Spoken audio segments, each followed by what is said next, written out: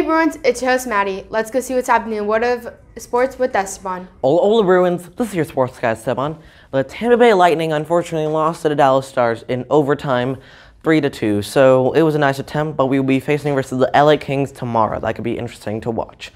Over in the football realm, um, once more, it will be the the Chiefs versus the 49ers. It it could be interesting to watch, and I'll definitely be having opinions.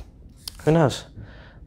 Picks coming Friday. And our picks for who will be coming is on Friday on who we want to win. That, once more, soccer practice is still going on, so if you haven't done it already, make sure you do. That's all for me.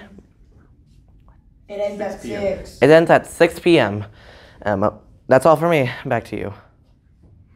Thanks, Esteban. Now let's go see what we're having for lunch with Ian. Hello, Bruins. Today we'll be having pepperoni and cheese pizza and Baja Carnitas tacos. Tomorrow we'll be having hot dogs. Now back to you, Maddie. Oh, and today's Tasty Tuesday. So let's go to Tasty Tuesday, then you, Maddie.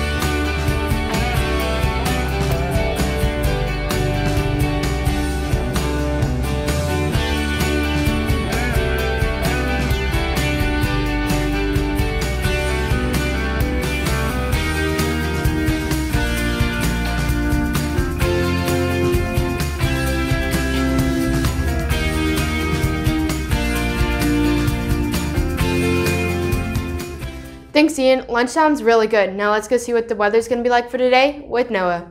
Hey everyone, what's up? It's your guy Noah. Today we're gonna have a high of 73 and a low of 48.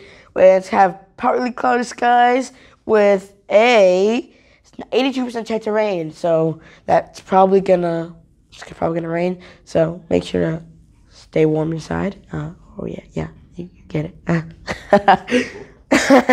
no, I had to say tomorrow. Oh. Tomorrow we're gonna have a high of 74 and a low of 56, and it's gonna be raining outside. I personally I like rain, but most people don't. So just make sure to wear a jacket and make sure to stay cool. Back to you, Maddie.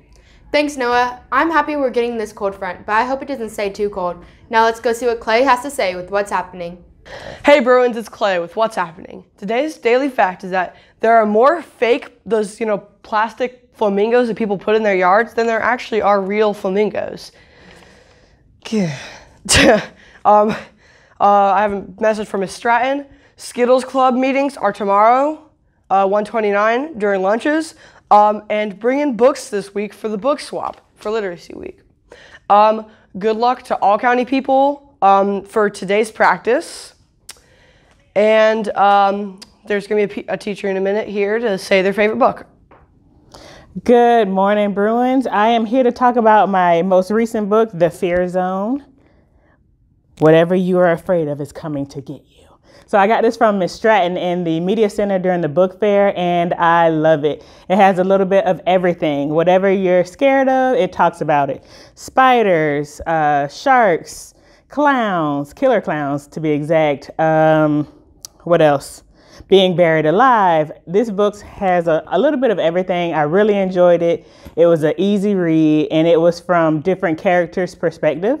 So I totally recommend this book, The Fear Zone by KP Alexander. And if you are in the mood to be scared or you like scary stories, scary movies, this is your book. Come see Miss Stratton.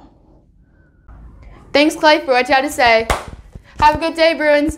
Bye.